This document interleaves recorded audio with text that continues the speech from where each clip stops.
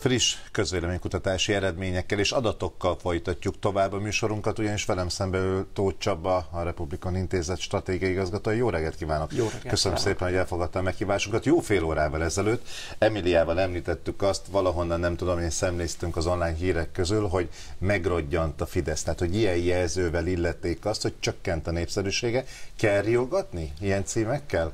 A kormánypárti szavazókat? Nem tudom, hogy ez riogatása el kell mondani. Nem, ez csak mi mondtuk. Ilyenkor persze a, a, az intézet média partnere az, amelyik a címet választja, mi azt mondanánk, hogy radikálisan csökkent. csökkent. Ugye ez az elemzői Na, és akkor ez a radikális csökkenés, az hány százalékpontot mér? A 2018 januárhoz képest? Januárhoz képest nálunk 5 ponttal csökkent a pártválasztók között a Fidesz támogatottság. Ez azt jelenti, hogy két hónapon belül már 9% ponttal csökkent, így 48 on áll most a Fidesz. Ez azért még egy elég magas érték, úgyhogy én, ha Fideszes lennék, még azért nem nagyon aggódnék. Igen, már magas az érték, ahol most a támogatottságuk áll, de a közvéleménykutató mit mond, hogy két hónap alatt 5%-os csökkenés a soknak számít amúgy? A soknak számít. Tehát én azt gondolom, hogy azok az ügyek, amelyeket láttunk januárban, Elios, Tiborc, oltalmazotti státuszú menekültek befogadása, vagy akár a diák tüntetés is, ezek mintha látszanának a Fidesz támogatottságának. Mert hogy a, a felmérésnek az időintervalluma ez, ez, ezek a témák még beleestek ebbe az ez időszakba. A, ez a felmérés ez februárban készült, de általában van egy, van egy kis hatás, ami, ami után késleltetve ért, értelmeződnek ezek az adatok. Tehát ha mondjuk januárban van egy ügy, azt általában februárban tudjuk detektálni az adatokban. Általában ez egy folyamat? Azért kérdezem ezt, mert az önök felmérésében ugye a hódmezővásárhelyi választás eredménye pont nem fért bele, tehát az még nem, nem esett bele az az időszak. Igen, én azt gondolom, hogy mondjuk egy ilyen választás, amikor ezt legelőször mérni fogjuk tudni, az valamikor márciusban, március végén lesz. Tehát, tehát a közvéleménynek kell adni időt, hogy az átmenjen. Két-három hét biztos kell, hogy megemészze ezeket az adatokat, az ezt követő felmérésbe fogjuk ezt látni. 48%-on áll akkor a Fidesz, hogy állnak a többi pártok? Ugye 10, 19%-on áll a Jobbik, amely nálunk a második legerősebb, és az MSZP... Akkor ők erősödtek, ugye? Erősödtek, ők nálunk erősödnek már két hónapja, 16%-on álltak még decemberben. A harmadik helyen pedig az MSZP Párbeszéd Szövetség van, amely 17%-on áll most. Itt van a legradikálisabb erősödés, ők 14%-on voltak még előző hónapban. Tehát itt valamiféle hatás elindult, valamilyen karácsony hatás, ha lehet így mondani, uh-huh. talán itt megjelenik. A DK és az LNP nálunk stabilan 5-6% körül áll, most éppen 6%-on a DK és 5%-on az LNP, a többiek nincsenek a parlamentben a mi mérésünk szerint. Tehát azért kis pártok adatokat mindig nehéz mérni. Én nem zárom ki, hogy mondjuk a momentumot alulmérjük, részben azért, mert nehezebb elérni a támogatóikat. Tehát ebben a sávban azért lehetnek még meglepetések. A közvélemény kutatókat most a hódmezővásárhelyi választási eredmény tekintetében nem azt mondjuk, hogy kritizálták, de felvetették azt, hogy képesek arra, hogy mondjuk pontosan eltaláljanak valamit. Hát most ugye az történt, hogy nem. Nem jól mérték, ugye a közvéleménykutatások a hódmezővásárhelyi választást. Ugye a Republikon Intézetnek nem volt kutatása Hódmezővásárhelyen. Amiket hallunk, ezek, ha jól tudom, kiszivárogtatott adatok, tehát nyilvános közleménykutatás Hódmezővásárhelyen uh-huh, kapcsolatban nem, nem volt. Amit hallunk, hogy voltak belső mérések, amelyek sokkal erősebbre mérték a Fideszt. Nagyon nehéz ezeket mérni, nagyon nehéz az elhallgatást mérni, nagyon nehéz adott esetben akár megtalálni azokat a szavazókat, akik hajlandók válaszolni a kutatási kérdésekre. A Fidesz kapcsán egy felülmérésről mindig szoktunk beszélni. Ugye 2014-ben is bocsássam meg 4-5 százalékkal felülmérték a Fidesz. Szerintem most is ez megtörténhet, tehát a mi 48 százalékunk is könnyen lehet, hogy csak 43-44-et jelent. Igen, hát ugye viszont most minden ellenzéki párt azt mondja, hogy annyira feltüzelte őket ez az eredmény, hogy valószínűleg itt ők most már ugye azt kommunikálják, azt mondják, és az lehet majd a következő felmérésekben er-, erőteljesen tényleg benne lesz, hogy simán legyőzhető a Fidesz. Igen, hát nyilván az ellenzék ezt kommunikálja. Egyébként nekünk volt egy felmérésünk arról is, hogy az ellenzéki szavazók mit gondolnak. Ők is bíznak ebben, ők uh-huh. is mhm. hisznek abban, hogy egyébként legyőzhető a Fidesz. Nyilván ennek a választási rendszerrel kapcsolatos konstrukciós kérdései is vannak, hol hány jelölt van, ki az esélyes jelölt, de hát ezeket unalomig ismerik szerintem a tévénézők. Abszolút, viszont beszéljünk most ez egy gondolat erejéig arról, hogyha a parlamenti patkot most elképzeljük, vagy most vázolnánk fel, az körülbelül hogy néz neki?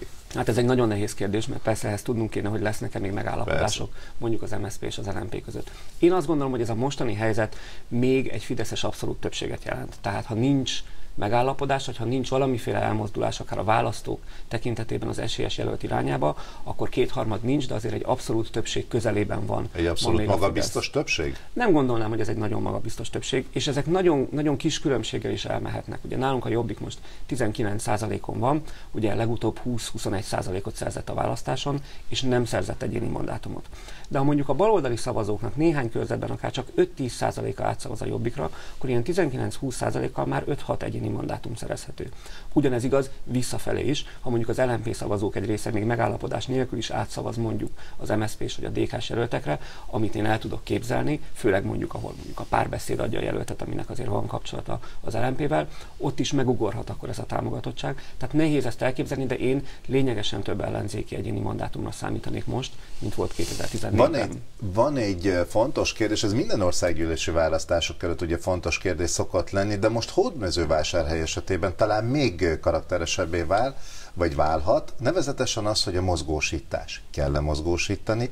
Kinek segítene mondjuk a mozgósítás, akik apatikusak, tehát nem tudják eldönteni, csalódtak mondjuk a politikában, őket érdemese, és ha igen, mondjuk kinek mozgósítani. Ugye a mozgósítás az egy olyan dolog, hogy az embernek a saját szavazóit érdemes mozgósítani. Hát igen, Tehát de mi... azt mondják mindig azért a, a pártpolitikusok, hogy szeretnének elcsenni más pártoktól is, szimpatizásoktól is, nem? Ugye ha szakmáznánk, azt mondanám, hogy különbözik a meggyőzés és a mozgósítás. Az, az első rész mindig a meggyőzés, tehát kell, hogy valakit mozgósítsunk. Általában azt mondjuk most a, a 2018-as választások előtt, hogy a magas részvétel, ha sokan mennek el, az inkább az ellenzéknek segít. Ez így volt egyébként 2002-ben is, így lehet a mostani választáson is, így volt volt hódmezővásárhelyen is. Tehát, hogy az ellenzék el tud jutni azokhoz a választókhoz, akik azért kormányváltást akarnak, de még bizonytalanok abban, hogy melyik ellenzéki pártot támogassák. Uh-huh. Ha fel tudják őket tüzelni, mondjuk adott esetben a fidesz szemben, hogyha képesek valamilyen lelkesedést kiváltani, akkor el fognak menni ezek az egyébként a politikától távolabb maradó választók. És önnek mondjuk van receptúrája arra, amit néhány politikai elemző is felvetett, hogy a Fidesz hogy tudja azt elérni, hogy nem menjenek el mondjuk szavazni? Hogy minél kevesebben menjenek el szavazni? Nekem nincs ilyen receptem. Általában azt szoktuk mondani, hogy a hideg kampány az, ami távol tartja a választókat. Milyen a hideg kampány? Hát olyan, ami nincs. Tehát Aha. olyan kampány, ami mondjuk csak arról szól, hogy összefogás lesz-e, nem lesz összefogás, mi történik, de ez, ez a hajó szerintem elment. Tehát most már ennél hiszterizáltabb a közélet, hogyha fogalmazhatok így. Tehát hideg kampány már nem lesz. Az a kérdés szerintem, hogy a Fidesz vált-e a saját kommunikációjában, mert úgy tűnik, hogy ez a negatív kampány jelenleg az ellenzéki szavazókra is hatott. Az ellenzéki szavazók is, mintha meg akarnák üzenni a Fidesznek, hogy ez már túl sok. Negatív kampány volt a soros kampány? Én szerintem ez egy negatív kampány volt, hát volt egy figura Soros György, akiről azt állították, hogy mindenféle dolgokat szeretne csinálni. Igen, de ugyanakkor meg azt mondták, hogy az embereknek ebből már elegük volt, nem? Már meg se érintette őket talán az utóbbi időszakban. Én nem így látom. Tehát azért, hogyha az országot teleragasztják ilyen típusú plakátokkal, és közben folyamatosan a csapból is az, hogy, hogy Soros György, az azért hat a választókra, mintha a választók üzenni szeretnének szerintem a hódmezővásárhelyi eredményekkel, hogy elegük van ebből, nem ilyesmit szeretnének, nem véletlen, hogy vannak is hírek arról, hogy a Fidesz esetleg váltani akar ebben. Politikai elemzők például látják azt a zavart, ami hódmezővásárhely után mondjuk a kormány oldalon megjelent, akár kommunikációban? Szerintem ezt mindenki látja ezt a zavart, tehát aki hallgat fideszes politikusokat, mintha egy picit össze-vissza beszélnének. Van olyan irány, ami még mindig a menekültekről, sorosról szól, másik irány az, hogy elkezdték a kormányzati eredményeket bemutatni, tehát valamilyen zavar van. Azért a Fidesz ezeken túl szokott lenni, az is igaz, hogy menet közben stratégiát váltani, az nem mindig egy helyes irány, de önmagában ez is a zavart jelzi. Tehát valami baj biztosan a Fidesz házatáján, hogy ebből az ellenzék tud-e profitálni, az szerintem annak a kérdés, hogy mivel fog foglalkozni, az összefogás kérdésével, ami szerintem nem segít nekik, vagy saját programjukkal. Igen. Minek a kérdése és az eldöntése az ön szerint, hogy Orbán Viktor akar, vagy fog-e vitázni? Egy dologtól függ, bele van-e kényszerítve. Nyilvánvalóan nem érdekel a regnáló miniszterelnöknek egy vita, de hogyha elég nagy a nyomás, hogyha elég sokan mondják azt, hogy ha valaki nem vitázik, akkor gyáva, akkor megfutamodik, uh-huh. akkor belekényszeríthető egy vitába. Nyomás, nyomás az is például, hogyha majd az új közöménykutatások megint azt fogják mutatni, hogy ismét csökkent a Fidesz támogatottsága? Nyomás az, hogy mi erről beszélünk. Nyomás az, hogy beszélünk arról, hogy most kiáll a miniszterelnök vagy nem. Valószínűleg Orbán Viktor nem örül annak, hogy ez a téma egyáltalán reálisan felvetődik. Minél többet mondják az ellenzéki politikusok, annál jobban bele lehet kényszeríteni. Emlékezzünk, 2002-ben is valami ilyesmi volt, Megyesi Péterrel az utolsó pillanatban ült le. Sőt, uh-huh. ez volt korábban Orbán Viktor és Horn Gyula között a másik oldalon. A regnáló miniszterelnök mindig szeretné ezt elkerülni. Tehát figyelmen kívül kell hagynunk azt a véleményt, azt a gondolatot és azt a mondatot, hogy a viták ideje lejárt? Igen, hát szerintem egy kampányban a viták ideje van, vagy a viták ideje jön el. Én nem is szeretném azt, hogyha egy olyan országban élnénk, ahol a viták ideje lejár. A vitánk ideje nem is, de a beszélgetésünk ideje viszont lejárt. Köszönöm szépen. Köszönöm szépen.